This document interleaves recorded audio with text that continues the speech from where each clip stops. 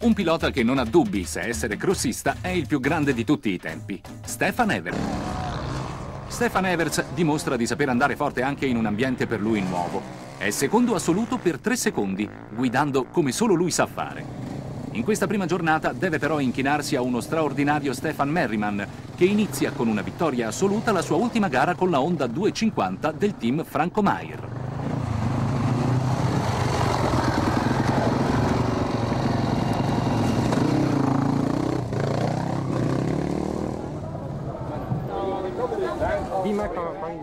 C'era molta attesa per vedere il più grande crossista al lavoro a fine tappa ed Evers non delude, dimostrandosi un grande professionista, arrivando a cambiare entrambi i pneumatici in neanche 10 minuti come i piloti più esperti.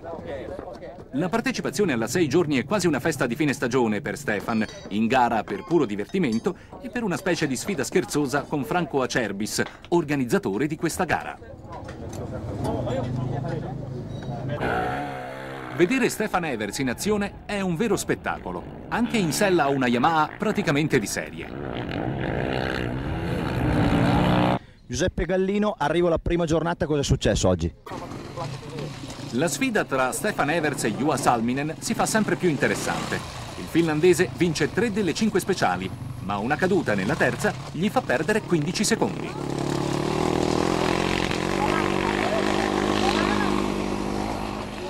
Stefan Everts continua a divertirsi andando fortissimo, dimostrando che anche con una moto di serie si può lottare per il vertice assoluto.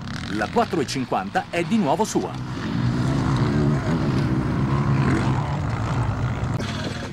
Walter Fortichiari è l'angelo custode di Stefan Everts.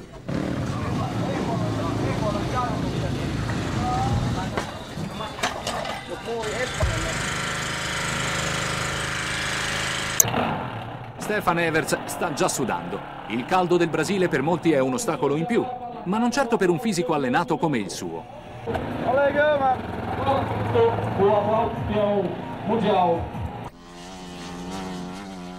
Le cadute di Merriman agevolano la vittoria di Stefan Evers, oggi davvero incontenibile, al punto di recuperare tutto lo... Uno stile elegante e inconfondibile, quello di Stefan Evers.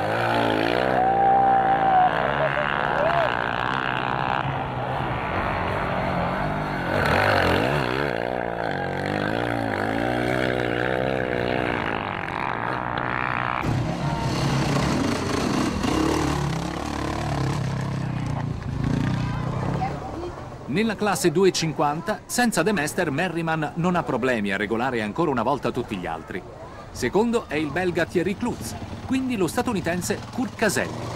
Poi Iani Lasso ha fatto anche Salminen, anche lui arrivato a quota 7 e che può vantarsi di avere vinto il mondiale e l'assoluta con moto di ogni cilindrata. Così come Stefan al motocross delle nazioni ha vinto con la squadra ma ha perso la sfida con Ricky Carmichael, Yua vince la 6 giorni ma perde la sfida individuale con Evans.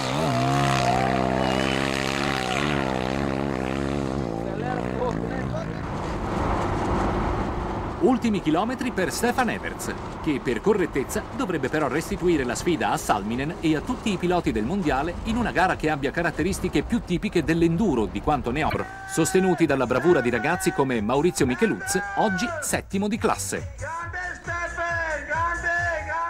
Grande entusiasmo per l'arrivo di giornata di Stefan Everts, che festeggia assieme agli appassionati italiani.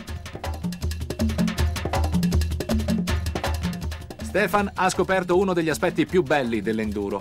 L'amicizia che lega tutti i piloti e tutti i tifosi, indipendentemente dalla nazionalità.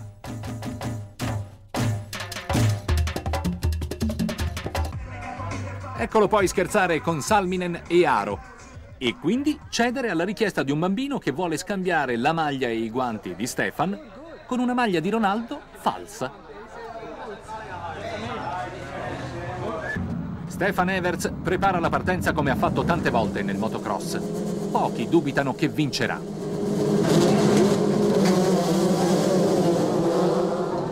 Parte bene Botturi, ma la sfida è tutta tra Everts e Salminen, con il campione finlandese che dà il massimo.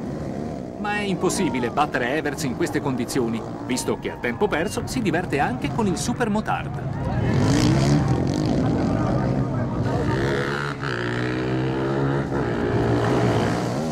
Vince Evers davanti a Salminen. Botturi è sesto di manche e magnifico terzo nella generale di classe.